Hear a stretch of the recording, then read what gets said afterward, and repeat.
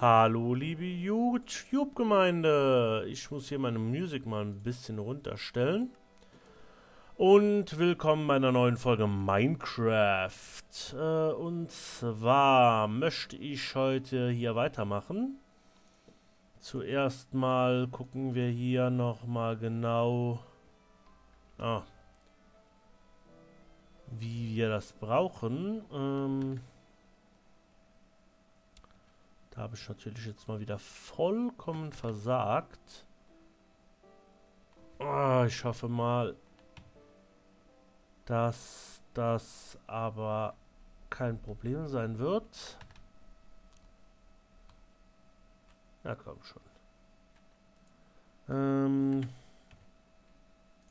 da sind sie doch. So, ich muss nämlich als erstes mal gucken. Ah, Moment.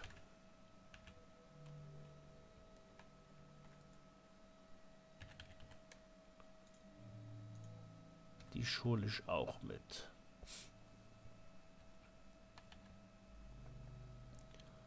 Gut, wir sind ja hier hinten an unserem kleinen süßen Mob Tower dran.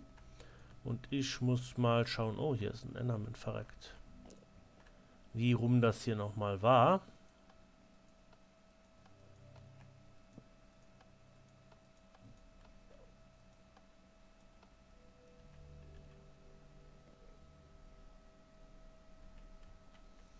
Normalerweise müsstest du...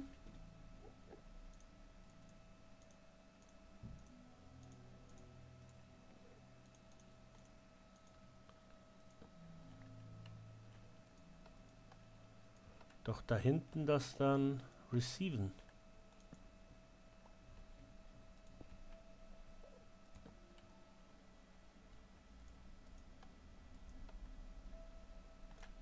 Ich jetzt total hämmert hier. Ähm, er macht das definitiv ja nicht.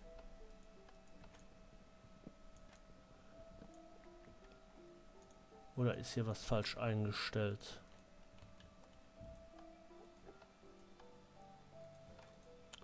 Gehen wir mal auf Frequenz 1.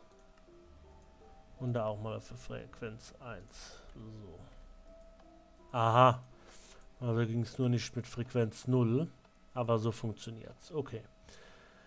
Also, dich da brauche ich. Okidoki. Dann fangen wir mal hier oben an. Also, ich würde ja gerne die Spawner, die, die Monster-Spawner etwas mehr in der Mitte haben. Das heißt, ich muss mit den Tierspawnern etwas weiter weggehen. Ähm, jetzt setze ich mal anstelle von den Spawnern einfach Holz hin. So. Also, wenn der erste Spawner da ist, dann wäre da einer und dann wäre da einer und dann wäre da einer. Gut. Okay. So viel dazu schon mal. Dann habe ich vor, diese da oben dran zu setzen und zu drehen. So. Dann kann ich da aber keinen Redstone hinmachen. Das ist jetzt die Frage, ob das da den Block mit mitmachen würde. Ich glaube nicht. Doch, dann müsste...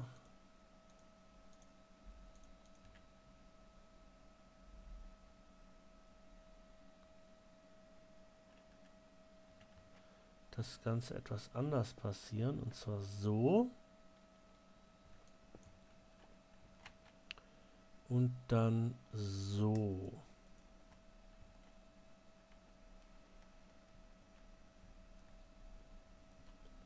Das tun wir jetzt mal auf 1. Und dann müsste eigentlich dieser Block mit befeuert werden. Da hinten ist meine Quelle. Äh, das probieren wir jetzt mal aus, indem wir da eine Fackel hinsetzen und tun hier hinten anmachen.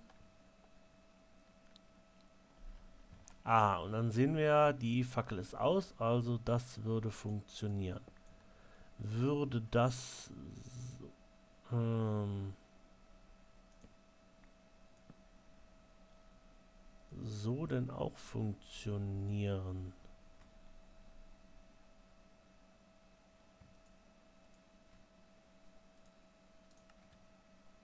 Nein. Gut, also muss das so laufen.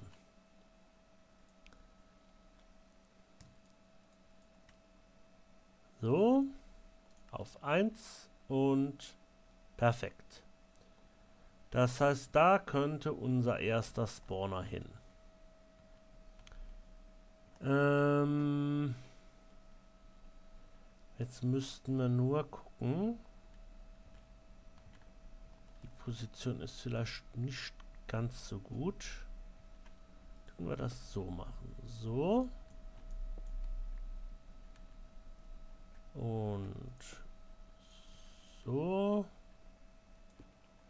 Und so. Ah, komm her. Wie sieht es mit meinem Jetpack aus? Oh, das ist nicht mehr ganz so fit. Gut, damit hätten wir die ersten vier gemacht. Weiter geht's. Die nächsten Spawner. Die nächsten Spawner hätte ich gerne hier. Das heißt... Ähm...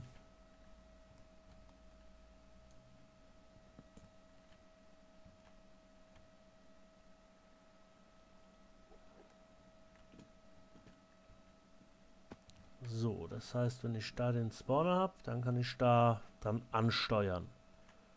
Und das ist auch der erste Spawner, den ich jetzt machen werde. Ähm jo, dafür gehe ich mal hier einfach weg. Und da so. Und dann setze ich mal hier meinen ersten Cajun. Zack, so. Und dann baue ich hier mal mit der Axt dich da ab und so und baue dahin und okay. Da kommt mein erster Cage hin, den drehe ich jetzt mal auf die 1 und jetzt müssen wir uns einen Soul Shard machen.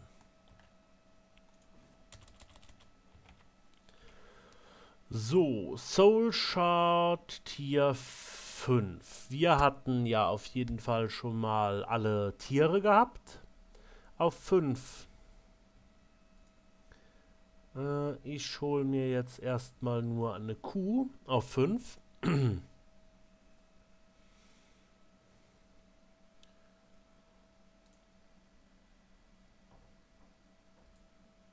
Ach, ja natürlich.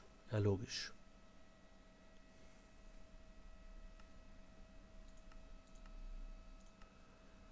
So, wer sich wundert, ich musste ja neu anfangen, äh, weil der Server abgeschmiert und kaputt war.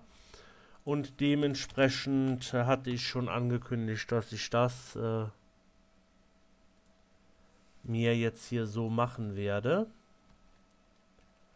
Nur für diejenigen, die sich jetzt wundern. So, Cow, Tier 5. Und da hinten ist das Licht an, das heißt Energie ist da, das heißt eigentlich dürften jetzt keine Kühe spawnen. Der müsste jetzt aktiviert werden, sobald ich hier hinten ausmache. Haha, und das passiert auch. Wunderbar. Und dann müssten die Kühe eigentlich hier unten sterben. Ah, wunderbar. Und da ist auch das gelaufen, was ich eigentlich hier haben möchte. Und zwar ist das die Essenz dessen, was wir hier produzieren werden. Und zwar Essenz. ja, die Essenz dessen Essenz. Hört sich zwar im ersten Moment blöd an, aber diese Essenz ist, man könnte sagen, flüssige Erfahrungspunkte. Und flüssige Erfahrungspunkte sind natürlich extrem, ja, nützlich, sagen wir einfach mal. Weil damit kann man noch einiges andere machen. Jetzt brauche ich aber erstmal ein Kontrollpanel. Ein vorübergehendes. Das heißt, wir brauchen hier unten an dieser Wand erstmal. Machen wir mal, fangen wir mal da an. Da kommt ein Hebel hin und zack auf 1 und den machen wir an und dann können wir den nämlich oben abreißen.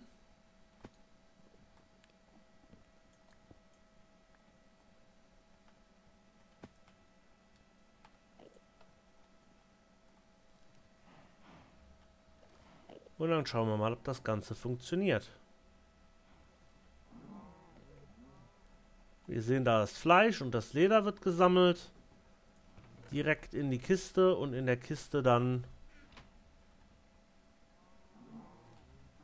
Perfekt.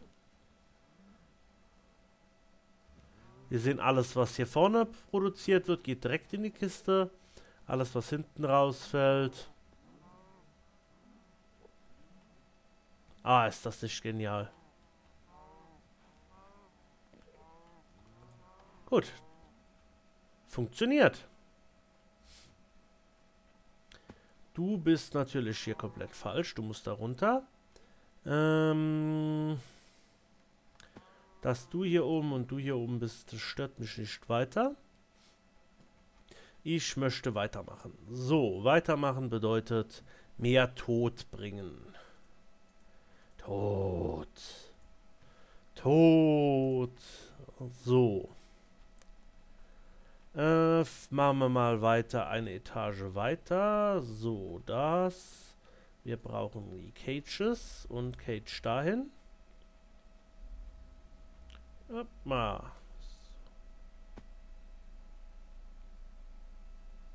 Ah, da unten sehe ich Probleme. Ich mag keine Probleme.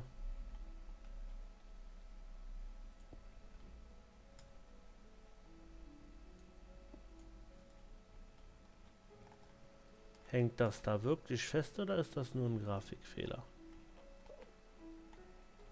Wieso wirst du nicht getötet? Hm. Naja, das wird sich noch rausstellen. So. Der nächste bitte. Der nächste wird äh, Empfänger. Auf Spur 2. So. Ich brauche noch Cages.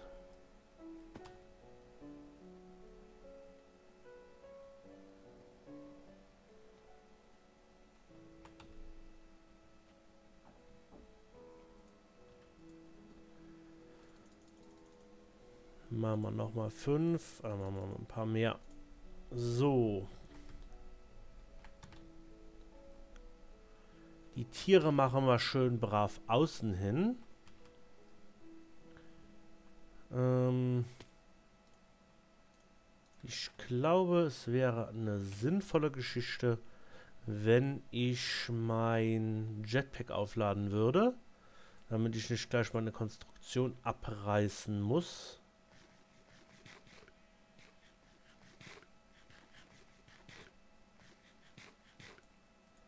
Nur weil ich keinen Jetpack habe, um mich aus der äh, aus der Grube zu äh, schweben.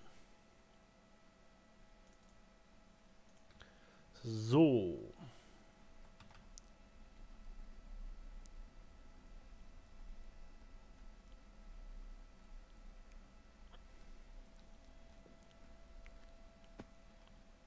Das ist der Cage mit der Nummer 2.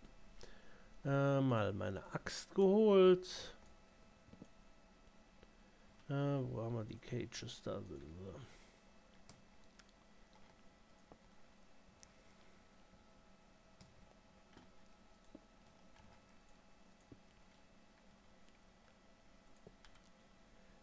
Da werden wir dann die Nummer 3 haben.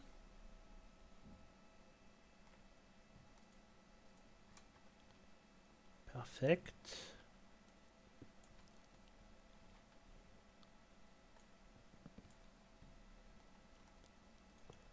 Dann brauchen wir natürlich die 4.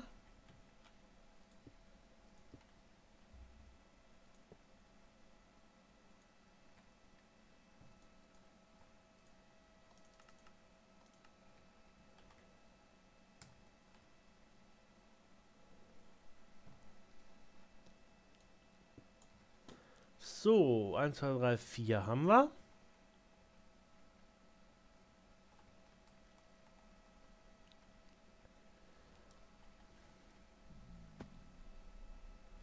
Hm, wieso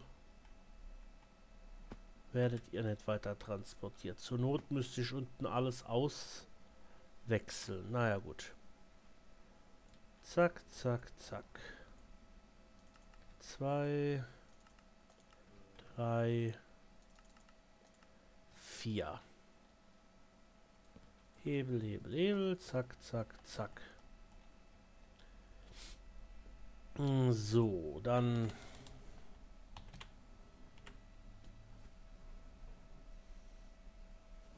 Soul Charts, äh, Tier 5, 1, 2, 3. Da brauchen wir jetzt das Chicken.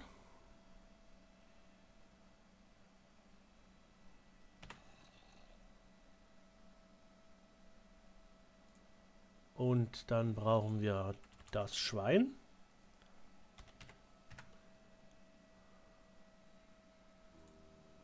Und natürlich das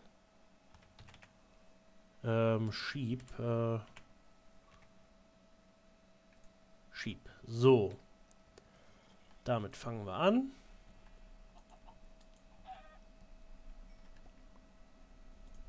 Chicken.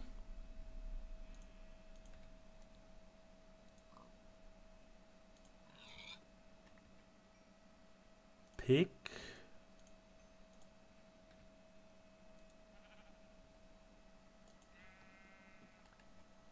Und Sheep. So.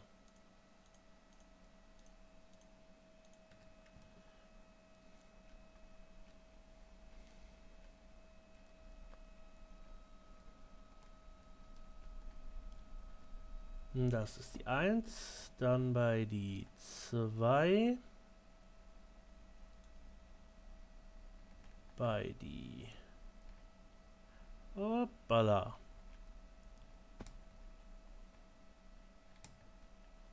Drei und natürlich bei die vier. So. Das haben wir. Und ich würde mal sagen, dann gucken wir mal. Da kommen doch schon ein paar Schweine geflogen. Ah, da kommen Hühner geflogen. Und da müsste jetzt alles geflogen kommen. Das nenne ich doch mal regnenden Tod. Ha? Gucken wir mal, was unsere Produktion macht. Da kommt Wolle.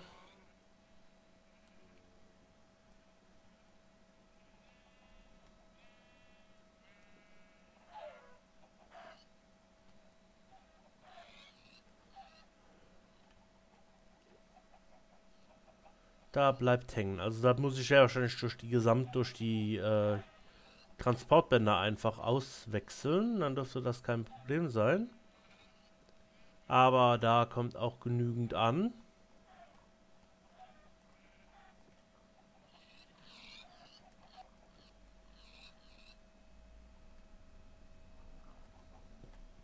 gucken wir mal in die Kiste. Da sehen wir... Ah, da kommt schon einiges. Da kommen auch Eier an, wie ich das sehe.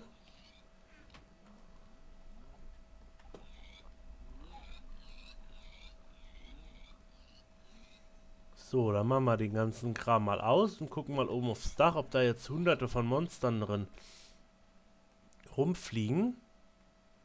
Nein, es, es hält sich in Grenzen. Also die Entfernung ist ganz gut bemessen.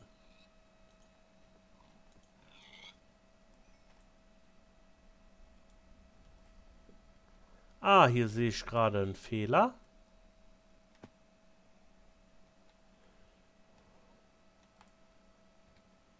Da habe ich noch einen Tank nicht komplett fertig gebaut.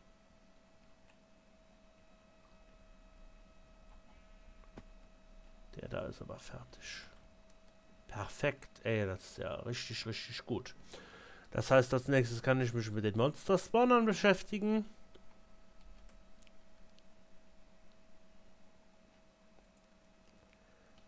Moment. Die Tanksachen hatte ich hier hinten in meiner Direktzugriffskiste. 15 Tank, die reichen.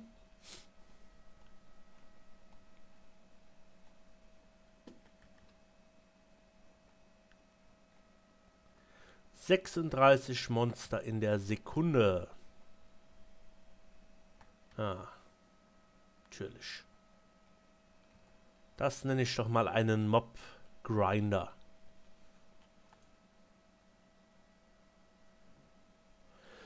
So, ich weiß ganz genau, wir hatten einen Blaze Spawner Tier 5 gehabt.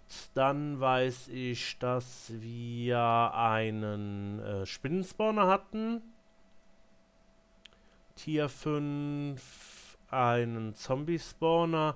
Die einzigen, die uns eigentlich gefehlt haben, war Gast definitiv. Gast hatte ich Tier 1 oder Tier 2 gehabt. Enderman, die hatten die Oschel voll gemacht, weil die im End war. So. Ah, da fließt auch schon die Essenz.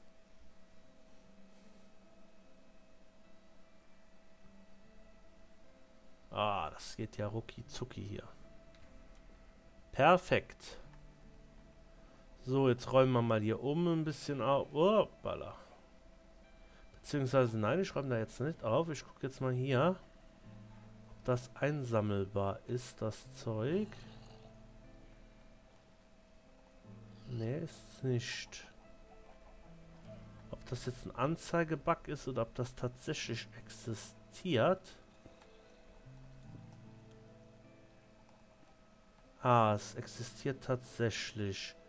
Das heißt, da müssen wir nacharbeiten. Das heißt hier das Wasser wegmachen und durch diese Conveyor Belts komplett ersetzen.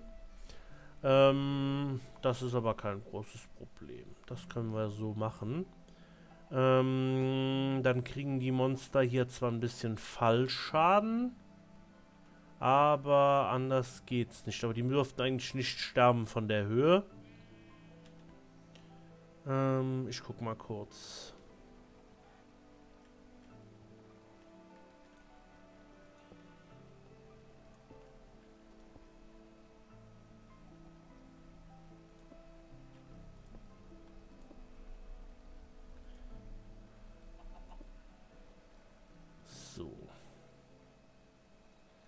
Wie sieht es denn mit dem Fallschaden aus der Höhe aus?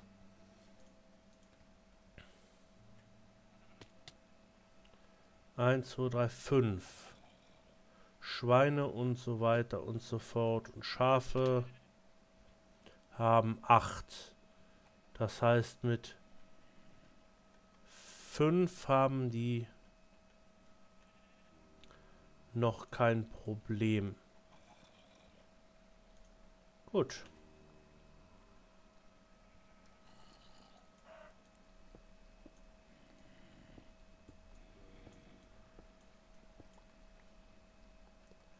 Aber dazu später mehr.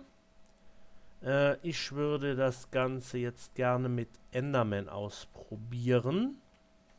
Das heißt, wir machen Ah nein, Quatsch, dafür muss ich das Ganze erstmal. Ich muss das Ganze erstmal rufen. Also erstmal ein Dach drauf machen. Das mache ich aber äh, offline. Das braucht ihr jetzt nicht mitzukriegen, wenn ich hier jetzt ein Dach baue.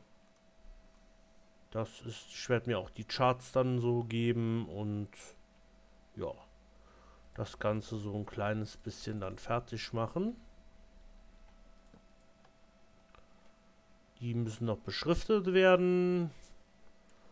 Und ich glaube, dann haben wir hier ein sehr einträgliches Geschäft.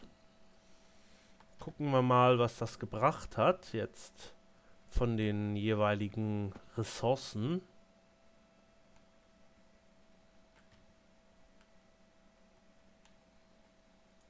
Gucken wir mal bei 53 Eier.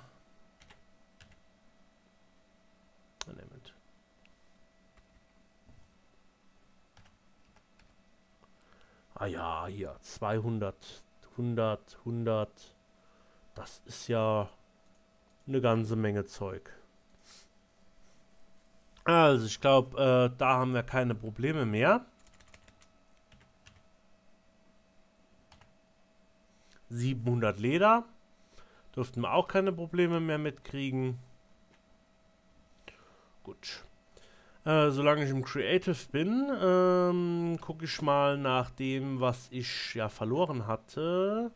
Und äh, war... Moment, jetzt muss ich mal kurz hier ein bisschen aufräumen.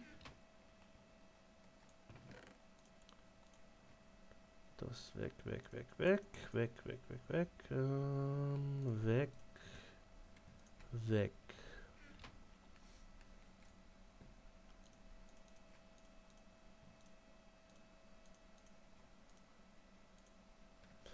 So, und zwar Miet. Hm.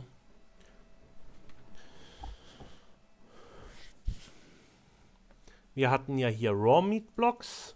Davon gebe ich mir mal einen kompletten Kasacham hier.